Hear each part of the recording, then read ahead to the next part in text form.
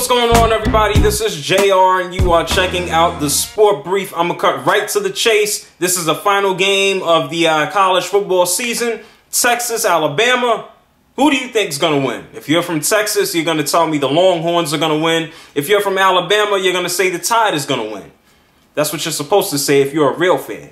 But my point being, I'm not a big, overly giant college football fan. Why? Because A, there are no big college football programs here in New York City. And second of all, I actually think that the uh, playoff system sucks. I think it's awful.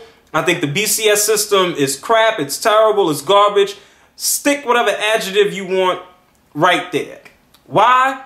Because I think it makes absolutely no sense that the teams are basically put into a computer and the computer spits out who it believes should win or who it should face off in the championship game. You put 10 teams in, you get five bowls, and then you get a bunch of other teams that probably deserve to be in there.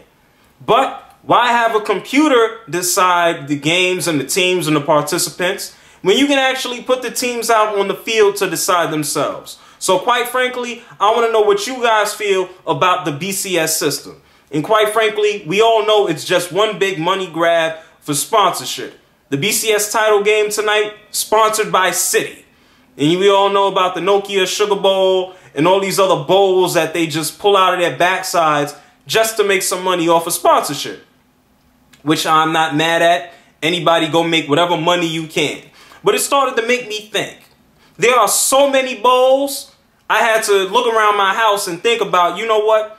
This is probably a bowl or probably will be a bowl if it isn't already. First things first. We're going to start with the BlackBerry Verizon Bowl. I'm sure it exists. Next, we have the Sharpie Bowl. What is this? The Dave and Buster's Burger Bowl. What is here? The Pontiac G5 Bowl. We probably won't have that because Pontiac does not even exist anymore. The Wachovia Checking Account Bowl probably exists. You can't go wrong with the Nike Bowl. You got to have the Nike Bowl. And last but not least, the Michael Jackson Thriller Bowl. Now, there are too many bowls. And I'm sure you see all the dust from the Michael Jackson Thriller record.